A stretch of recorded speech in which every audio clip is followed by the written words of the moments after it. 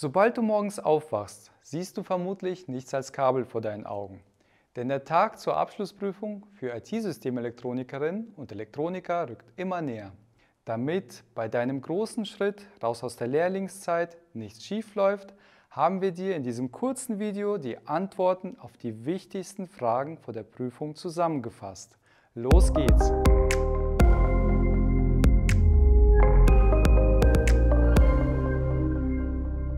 Wie ist der Aufbau der Prüfung? Die Abschlussprüfung für IT-Systemelektronikerinnen und Elektroniker besteht aus zwei Teilen. Der erste Teil findet im vierten Ausbildungshalbjahr statt, der zweite am Ende der Berufsausbildung, also in der Regel im sechsten Ausbildungshalbjahr. Da die Prüfung Teil 1 während der Ausbildung stattfindet und die Prüfung Teil 2 am Ende, spricht man bei der Abschlussprüfung Teil 1 auch von der Zwischenprüfung. Beide Prüfungen, also Teil 1 und Teil 2, fließen in die Gesamtnote der IT-Abschlussprüfung mit ein. Sowohl Teil 2 der Abschlussprüfung als auch das Gesamtergebnis, bestehend aus Teil 1 und Teil 2, müssen mit der Note ausreichend bestanden werden, damit du den Abschluss auch schaffst. Dabei fließt Teil 1 mit 20% in die Gewichtung der Gesamtnote mit ein und Teil 2 mit 80%. Welche Themen kommen in der Prüfung dran? Kommen wir nun zu den einzelnen Themenbereichen für die Prüfung Teil 1 und Teil 2. Die Abschlussprüfung Teil 1 ist bei allen IT-Berufen gleich aufgebaut, während sich die Inhalte der Abschlussprüfung Teil 2 je nach Ausbildungsberuf und Fachrichtung stark unterscheiden. Somit hast du in Teil 1 der Abschlussprüfung die gleiche Prüfung geschrieben wie die Fachinformatiker aller Fachrichtungen, die Kaufleute für IT-Systemmanagement oder die Kaufleute für Digitalisierungsmanagement. Einheitlich müssen Prüflinge aus allen IT-Berufen in Teil 1 der Abschlussprüfung nachweisen, dass sie in der Lage sind, einen IT-gestützten Arbeitsplatz einzurichten. Nach der Überarbeitung der Ausbildungsordnung im Jahr 2020 wurden die Themenfelder IT-Sicherheit und Datenschutz im Rahmenplan deutlich ausgebaut. Falls du Teil 1 der Abschlussprüfung noch nicht hinter dich gebracht hast, Schau dir unbedingt unser Video zur Abschlussprüfung IT-Berufe Teil 1 an. Dort werden die Themen und der Ablauf genau behandelt. Hier schauen wir uns nun Teil 2 der Abschlussprüfung genauer an. Dieser Teil der Abschlussprüfung wird in der Gesamtnote mit 80% gewichtet und wird wiederum in Abschnitte Teil A die praktische Prüfung und Teil B die schriftliche Prüfung eingeteilt. Die mit Abstand wichtigste Prüfung ist Teil A. Deine Projektarbeit, die mit 50% in der Gesamtnote gewichtet wird. Dieser Teil ist etwas komplexer, da er deine praktischen Fähigkeiten und dein Verständnis der Arbeitsabläufe testet.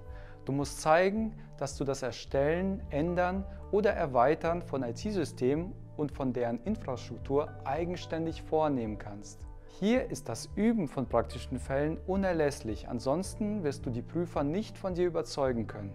Schaue dir alte Prüfungsbeispiele an, mache Praxistests und das Lösen von Problemen ist hier sehr wichtig. Je mehr du praktizierst, desto sicherer wirst du dich fühlen. Der Ablauf der praktischen Prüfung sieht folgendermaßen aus. Als erstes wählst du ein Projekt in Abstimmung mit deinem Ausbilder aus und erstellst eine Projektbeschreibung.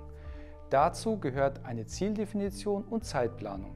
Die Projektbeschreibung reichst du dann vor dem Prüfungsausschuss zur Genehmigung ein. Danach führst du die Projektarbeit im Betrieb durch und dokumentierst diese mit praxisbezogenen Unterlagen. Achte bitte darauf, dass die Projektarbeit inklusive der Dokumentation nicht länger als 40 Stunden in Anspruch nimmt. Im zweiten Teil folgt die Präsentation deiner Projektarbeit und im Anschluss das Fachgespräch. Die Präsi und das Fachgespräch haben jeweils eine Dauer von höchstens 15 Minuten. Schau dir auch unbedingt unsere Videos zur Präsentation und dem Fachgespräch in der mündlichen Prüfung an. Diese haben wir dir in der Videobeschreibung verlinkt. Alle diese Bestandteile haben Einfluss auf die Bewertung deiner Projektarbeit und somit deiner Gesamtnote. Die drei schriftlichen Prüfungen, welche zum Teil 2 der Abschlussprüfung zählen, heißen Installation, und Service an IT-Geräten, IT-Systemen und IT-Infrastrukturen, Anbindung von Geräten, Systemen und Betriebsmitteln an die Stromversorgung und drittens Wirtschafts- und Sozialkunde, kurz WISO genannt. Diese Bereiche fließen nach der neuen Prüfungsordnung zu jeweils 10% in die Gesamtnote ein. Wirtschafts- und Sozialkunde ist im Grunde wie bei allen IHK-Ausbildungsberufen aufgebaut und enthält Prüfungsfragen zu allgemeinen wirtschaftlichen sowie gesellschaftlichen Zusammenhängen aus der Berufs- und Arbeitswelt, VWL, BWL und so weiter. Nun hast du einen guten Überblick darüber erhalten, wie sich die Abschlussprüfung für IT-Systemelektroniker zusammensetzt. Damit du dich optimal auf die Abschlussprüfung vorbereiten kannst, empfehlen wir dir unsere Bücher, Online-Kurse und Apps mit den passenden Lerneinheiten und Prüfungsfragen zur Abschlussprüfung für IT-Systemelektronikerinnen und Elektroniker. Solltest du noch Fragen haben, schreibe sie uns gerne in den Kommentaren und abonniere unseren Kanal. Viel Erfolg bei deiner Prüfung wünscht dir dein Plakos-Team.